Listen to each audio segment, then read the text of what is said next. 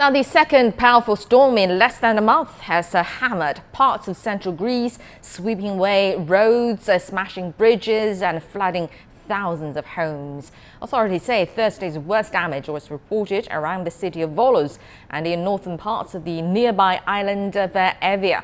And the extensive flooding induced by Storm Elias has uh, left hundreds stranded in mountainous villages.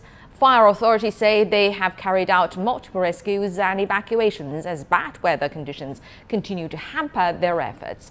Earlier this month, Storm Daniel struck the same area, killing more than a dozen people and causing over 2 billion euros in damage to farms and infrastructure.